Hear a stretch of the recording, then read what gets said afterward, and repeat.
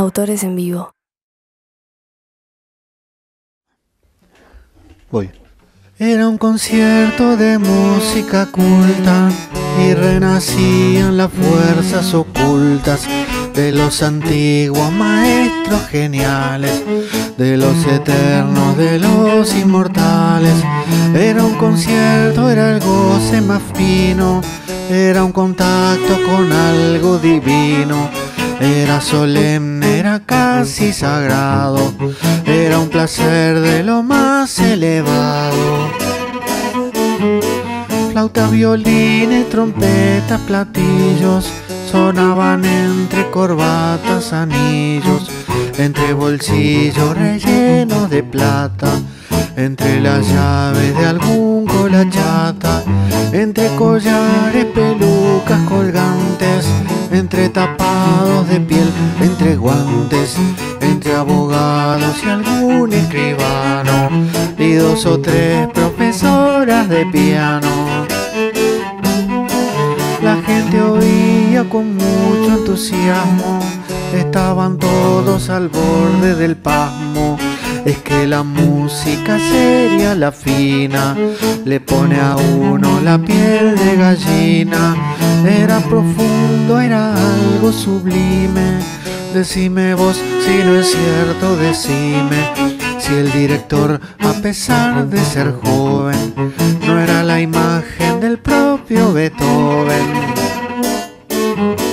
Era el Edén para los que asistían, sonaba justo como ellos querían, sonaba tan culto, tan elevado, que tuvo un triste, fatal resultado, porque de a poco la gente ascendía, bajo el efecto del arte subía, iban en busca quizá de la altura, correspondiente a esa música pura.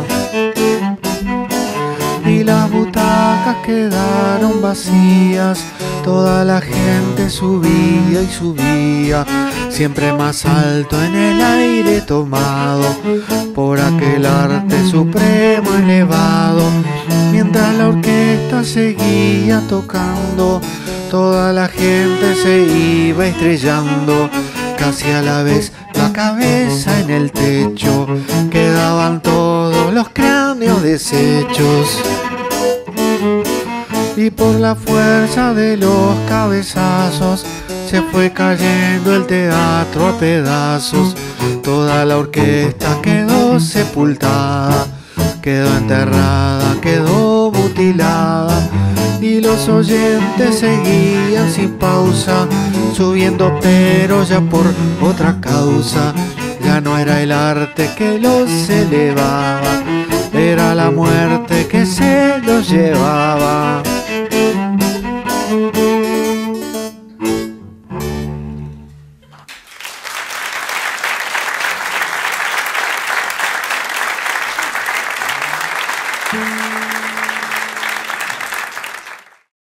Bueno, ella es Lucía Gatti y vamos a tocar y cantar ahora una, una música que se llama Canon 2, que, bueno, siguiendo la forma o una de las formas que se llaman Canon, tiene una melodía que, que cantamos los dos pero empezando en distintos momentos.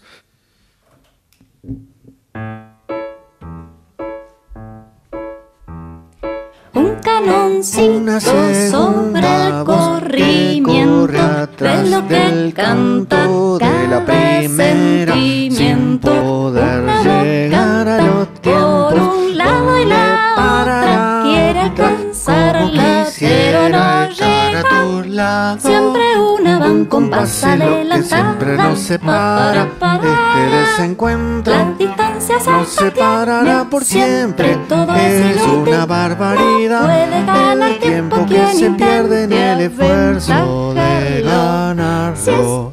Por un canoncito sobre el corrimiento de la lo que canta cada sentimiento. Los Una tiempos voz canta para la lado y la otra, como quisiera alcanzarla, pero no llega. Un compás es lo que siempre nos separa. Este desencuentro nos separará La por distancia se siempre. No hay que mantiene tratar de siempre, correr. todo es inútil.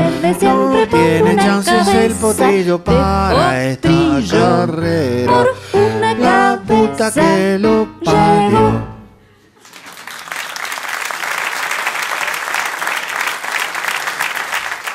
Bueno, este ciclo se llama Autores en Vivo, pero ahora vamos a tocar una música de un autor que está muerto.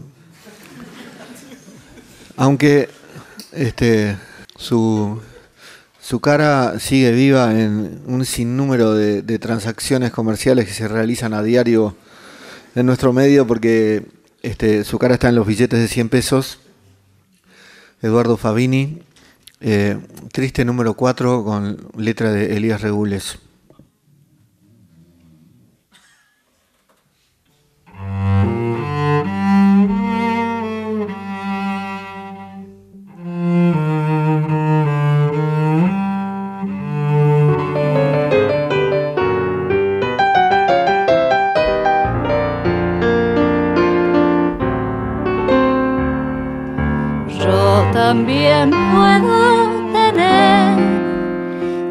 Afectos el alma llena, que donde vive una pena puede brotar un placer. Pues en todo hay a mi ver dulzura con esplendor. El tigre tiene su amor, su cariño la paloma, la rosa brinda su aroma y hasta el cardo tiene flor.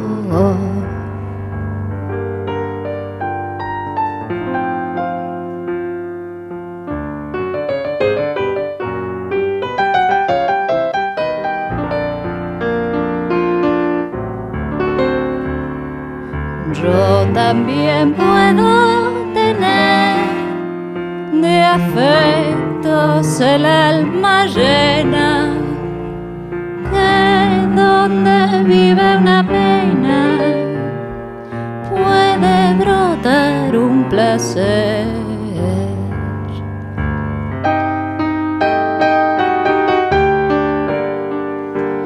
Puede brotar un placer.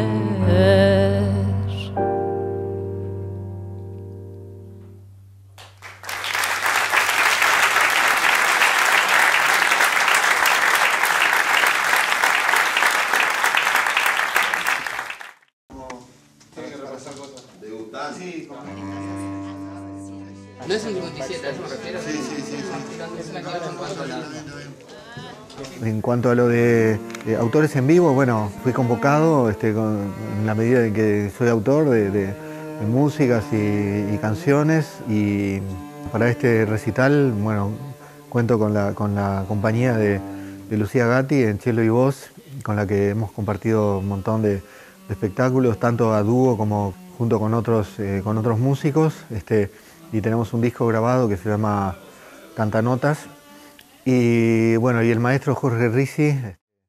Seguimos con un viejo tema que se llama Desubicado. Ella siempre pasaba por donde yo trabajaba, por donde yo trabajaba. Qué punta que marcaba, no importa a mí, me gustaba, no importa a mí, me gustaba. Era de una oficina cruzando justo en la esquina, cruzando justo en la esquina. Quizá por un gualicho, quizá por puro capricho, quizá por puro capricho. Cada vez que pasaba mi metejón aumentaba, mi metejón aumentaba. No logré decir nada cuando la vi en la parada, cuando la vi en la parada. Supe a qué hora salía y lo intenté cada día, y lo intenté cada día. Pero cuando llegaba, el habla me traicionaba, el habla me traicionaba. Cuando más te preciso, te haces el pa' que liso, te haces el pa' que liso. Decidí finalmente no insistir más oralmente, no insistir más oralmente. Concentré mis esfuerzos en escribir unos versos, en escribir unos versos. Casi un poema, no me preguntes el tema, no me preguntes el tema. Encontrar el momento de darle aquel esperpento, de darle aquel esperpento. Fue difícil tarea, como esperar la marea, como esperar la marea. Y juntando coraje me tiré al agua de traje, me tiré al agua de traje. Me acerqué hasta su lado y le dije muy colorado, le dije muy colorado. Tengo algo que darte y tartamudeé en una parte y tartamudeé en una parte. Lástima que no viste su cara, era el despiste, su cara era el despiste. Con arisca manera me preguntó lo que era, me preguntó lo que era. Le dije si la leía, le dije si la leía. Y me fui presuroso, muriéndome de nervioso, muriéndome de nervioso. La mañana siguiente yo estaba tan impaciente, yo estaba tan impaciente. Por saber si el destino me hundía por desatino, me hundía por desatino. Si viejo criollo me daba todo su apoyo, me daba todo su apoyo. Cuando fui a la parada para esperar a mi amada, para esperar a mi amada. Vi que como llegaba inmediatamente paraba, inmediatamente paraba. Con su mano de nieve, un 149, un 149. Sentado veía morirse mi fantasía, morirse mi fantasía. Y me dije abombado, vos sos un desubicado, vos sos un desubicado. Por creer todavía, por creer en la poesía, por creer en la poesía.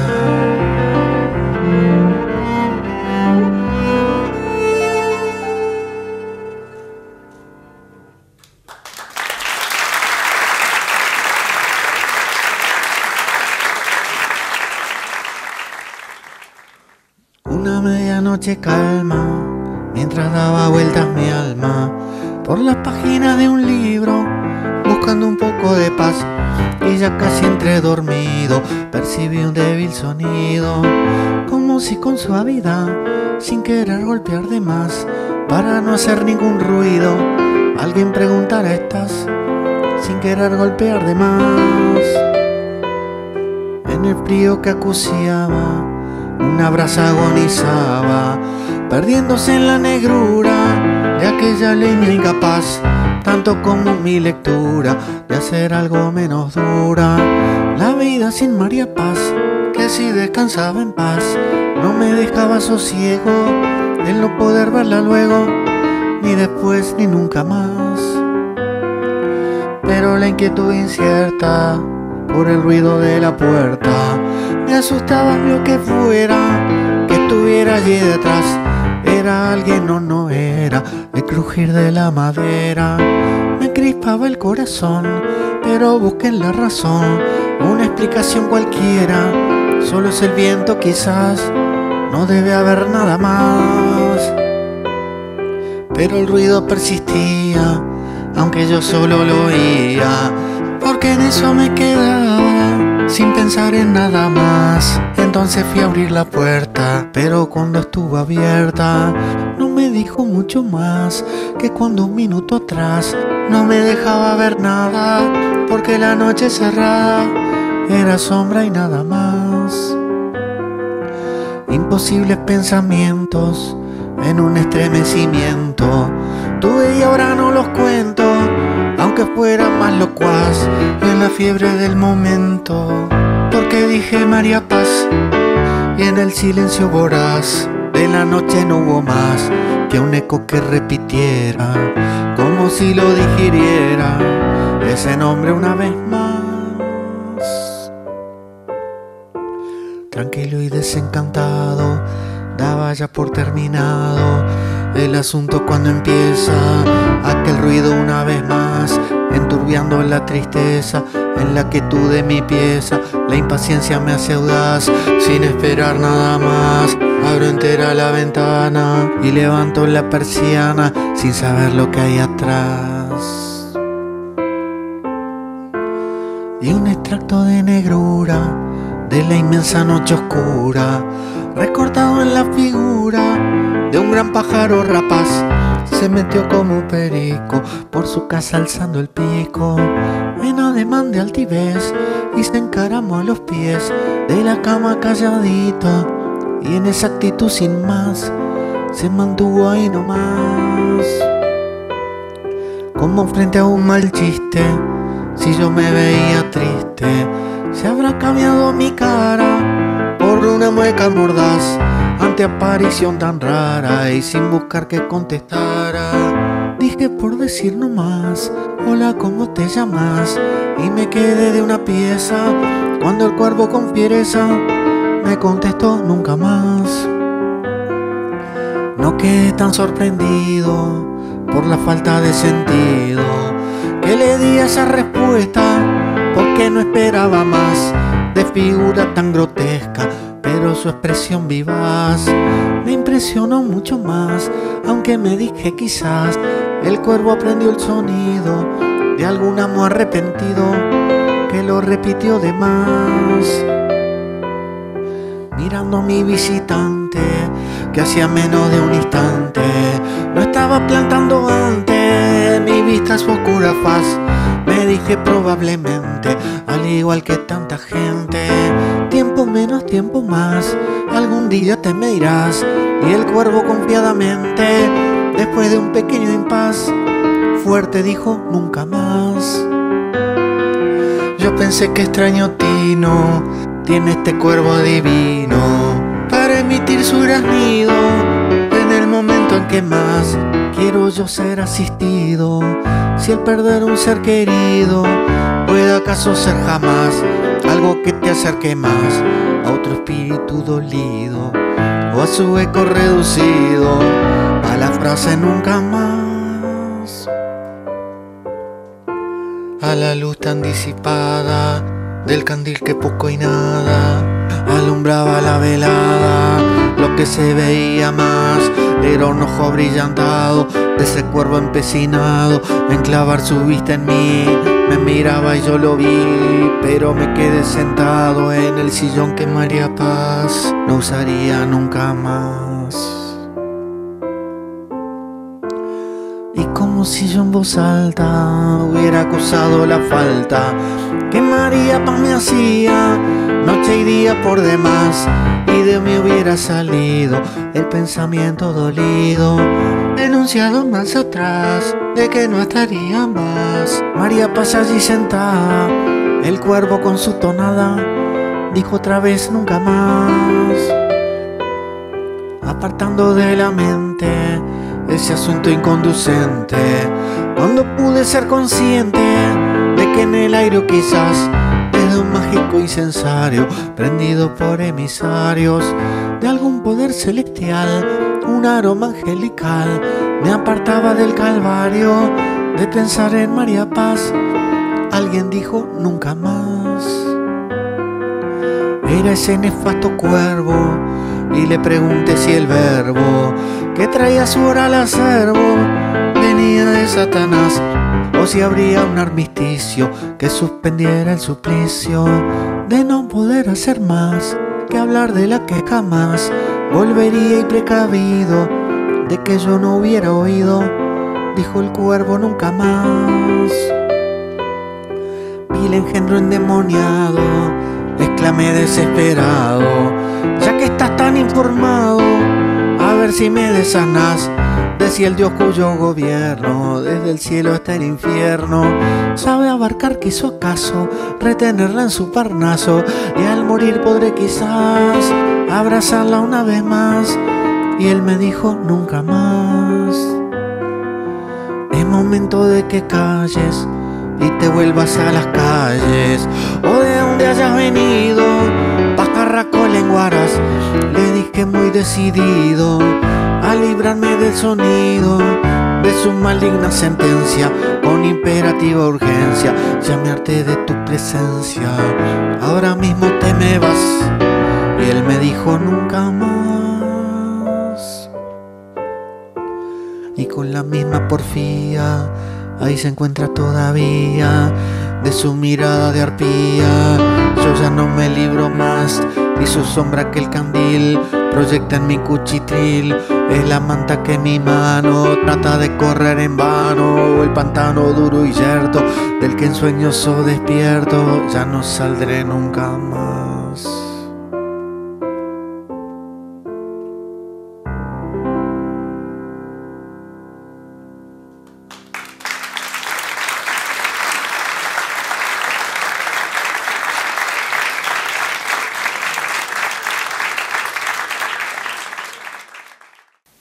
Criterio para elegir el repertorio de, esta, presentación eh, fue, mm, digamos, por una parte, bueno, dar eh, de alguna manera un panorama de distintos momentos creativos que, tuve a, través de los años, este, y bueno, conjugando eso con las posibilidades de, interpretarlo ahora. Eh,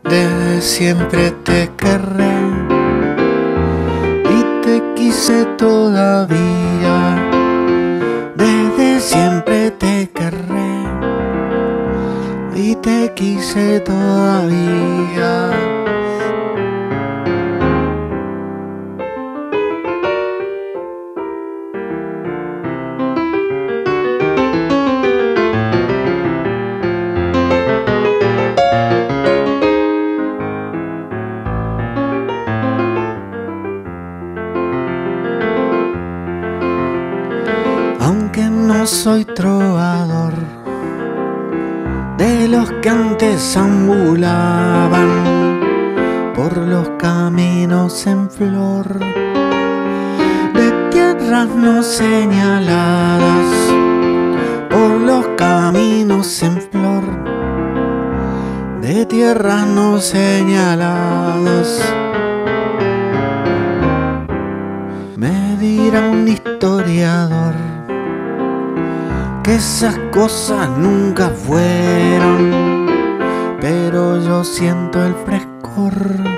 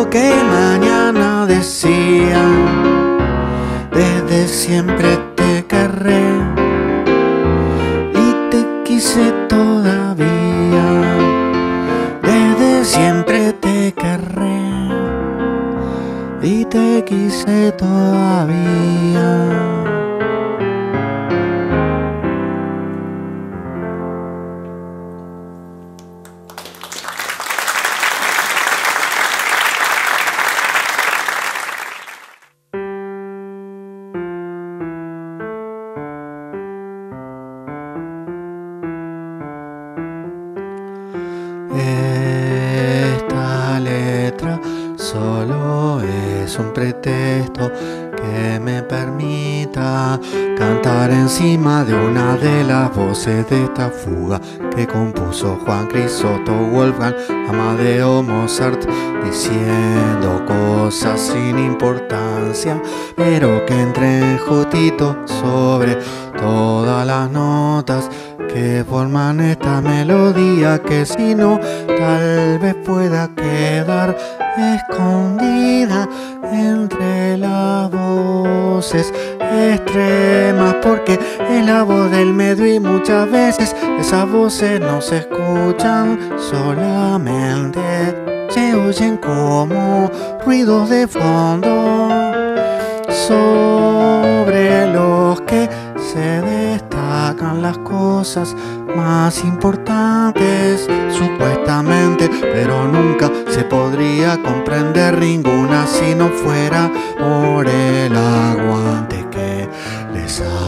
siempre la voz del medio sin brillar ni acerpamiento para concitar más atención que la de arriba, ni quedarse abajo sosteniendo todo lo demás y no es cuestión de medias tintas porque todos los colores se los pone justamente lo que pasa en la región del medio a pesar de que después todo el crédito lo lleven las otras voces. El primer violín de la orquesta es el que saluda al director, como si todo lo demás no hubiera sido más que un acompañamiento secundario, porque si por el contrario solo fuera un elegido para recibir en nombre de la orquesta en su conjunto ese saludo, me pregunto por qué no se turna con cualquiera de los otros instrumentos como el trombón si quieres o el corno inglés.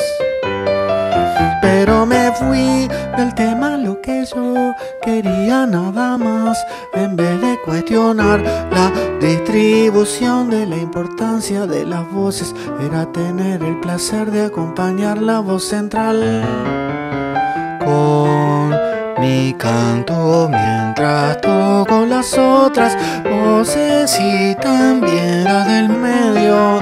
Así me cuido de desafinar no importan las palabras que diga. Mientras no tengan sentido en demasía y se mantengan dentro de una cosa neutra que permita que las notas puedan ir al frente sin ningún tipo de distracción y puedan transmitir lo que ya saben y que cantando quiero aprender de su movimiento, de su misteriosa forma de existir como un refugio temporal que está en el tiempo sin transcurrir y volviendo a lo que decía de no decir ninguna palabra que distraiga del sentido de las notas de la melodía de esta voz del medio y mantenerse lo más fielmente posible dentro del mensaje que las notas transmiten de por sí. Honesta bajadita va diciendo adiós. La voz del medio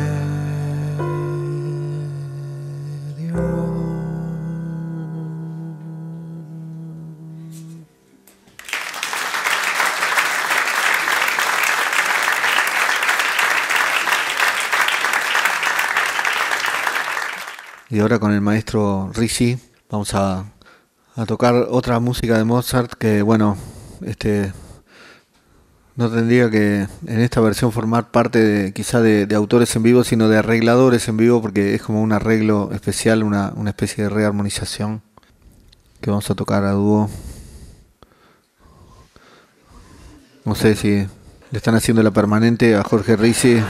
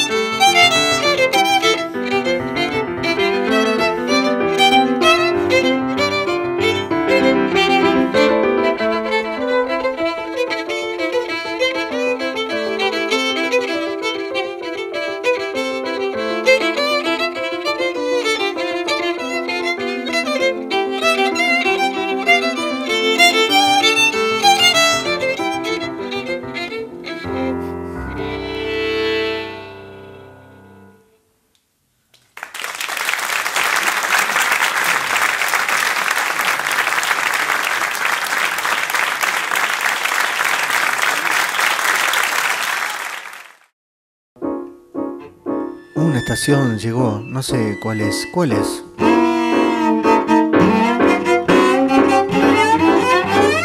Si fuera verano, entonces habría diciembre y no llegaría con B larga la Navidad. Si fuera verano, entonces no llegaría tapado de abrigos y muerto de frío Papá Noel. Si fuera verano, entonces sería verano. Una estación llegó, no sé cuál es, ¿sabes? La primavera, algunos poetas dirían, ha llegado la primavera. Si fuera la primavera, en efecto salían algunos inútilmente a gritar a los cuatro costados, ha llegado la primavera. Una estación llegó, no sé quién es, ¿qué es? Si fuera otoño entonces no sería verdad lo que dicen en las escuelas que en otoño caen las hojas secas. Si fuera otoño entonces no sería verdad lo que dicen las hojas secas que en otoño florecen niños en las escuelas. Una estación llegó, no sé cuál es, ¿cómo la ves? Si fuera invierno algunos poetas dirían, ha llegado la primavera. Si fuera invierno tendría que haber veranillo de San Juan. Si fuera invierno al menos, si fuera invierno por lo menos, una estación llegó, no sé cuál es, Ciprés.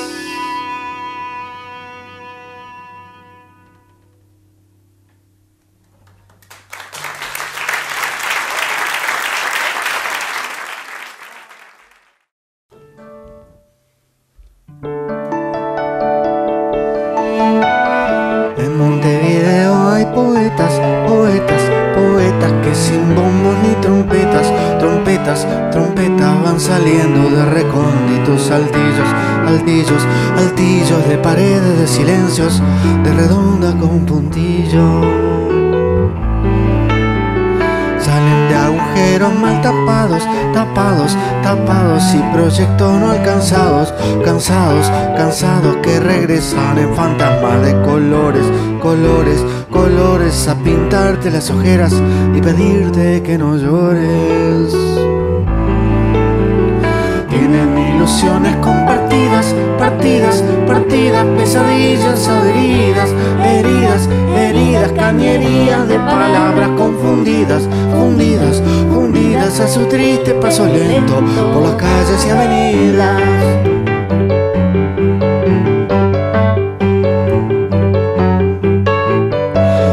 Pretenden glorias ni laureles, laureles, laureles, solo pasan a papeles, papeles, papeles, experiencia totalmente personales, sonales, sonales, elementos muy parciales que juntados no son tales. De la aurora hasta cansarse, cansarse, cansarse sin tener miedo a plagiarse, plagiarse, plagiarse. Nada de eso importa ya mientras escriban, escriban, escriban su manía, su locura, su neurosis obsesiva. Andan por las calles los poetas, poetas, poetas como si fueran cometas, cometas, cometas en un denso cielo de metal fundido, fundido, fundido, impenetrable, desastroso, lamentable y aburrido.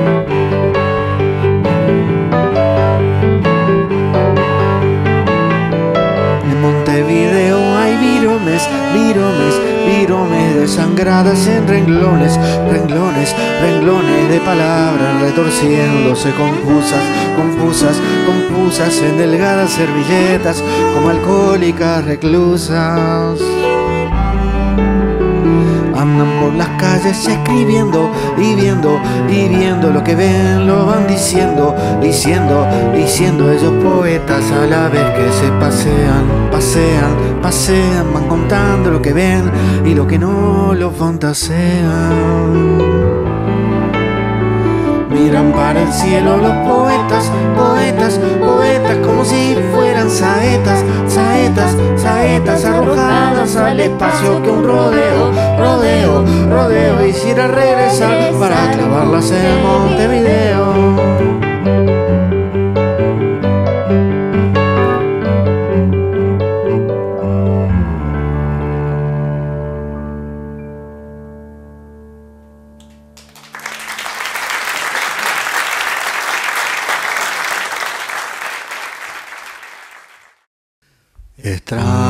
Extraños en el día, por cierto que los hay.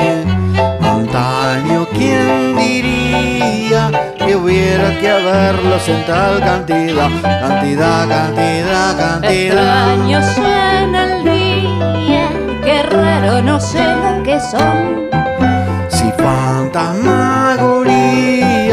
si alguna maquinación de una diabólica imaginación. Extraños en el día, Extraños al día también. que también, que Mal sueño de vigilia, Vigila que el sueño te duerma de pie. que duerma de un buen puntapié. Extraños en el día, pululan en el firmamento. De noche ni te cuento, Lo dijo Sinatra y tenía razón. y tenía, tenía razón. Extraños que hoy en día los quiero conocer.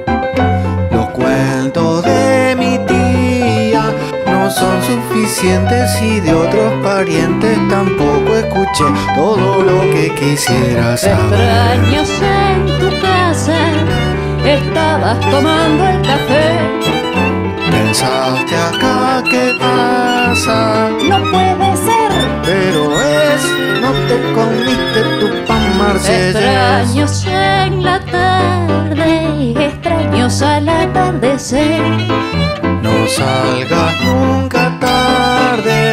prefiero saltear de tener que temer. De tener que tener que temer. Años en el día, estrellas que vienen al cielo del sur y plenas de alegría, reparten sus ráfagas de humo y de luz, de humo y recóndita. Extraños en el día y no se me No sé si extrañaría los tiempos en que todo el mundo creía que se conocía y toma que me decís de aquel. extraños en la fría. A cualquiera le puede pasar Los viejos ya decían y algunos extraños resultan mejor a veces que algún familiar. Años en el parque, por cierto, descalzo no están. Tendrías que cuidarte si se te cruza cruzar.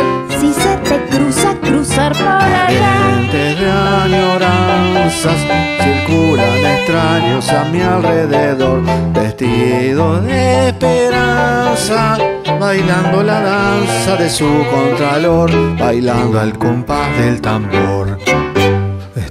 Extraños en el día, que los hay, que los hay, que los hay por doquier.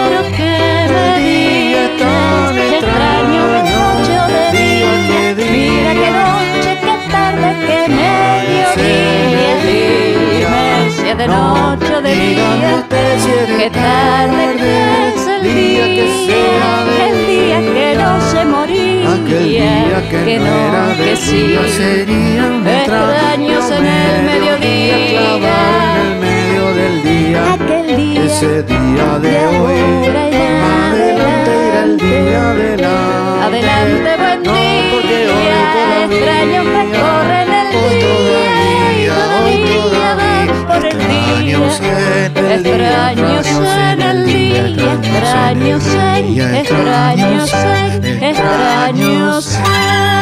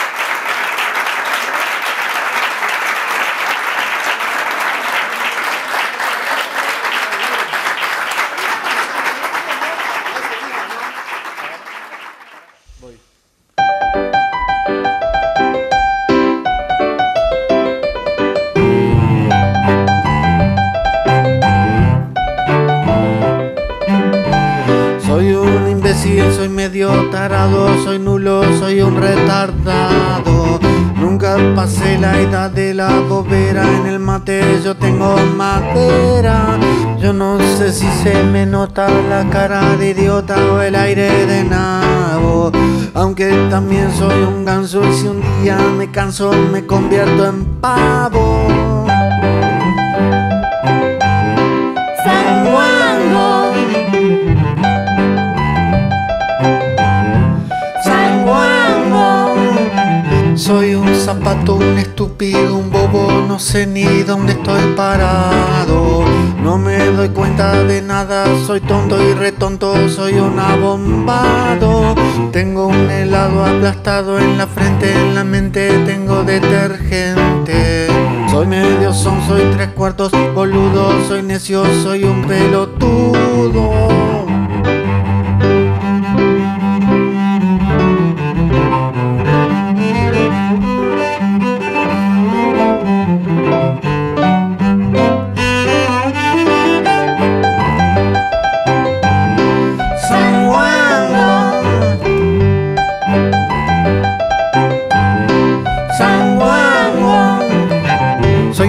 Soy un banana, soy un zapallo y un tarambana, soy un sanguango, soy un imbécil de rango. Soy medio choto, soy un bobito, soy lo mastito, soy un vejerto, un buenas noches que nunca me despierto. Soy un peligro, soy un inútil, soy medio lelo, soy como un castigo del cielo, un verdadero flagelo. Soy un desastre, soy un estorbo, soy mucho peor que un cero a la izquierda, soy una plaga, soy un imbécil de mierda.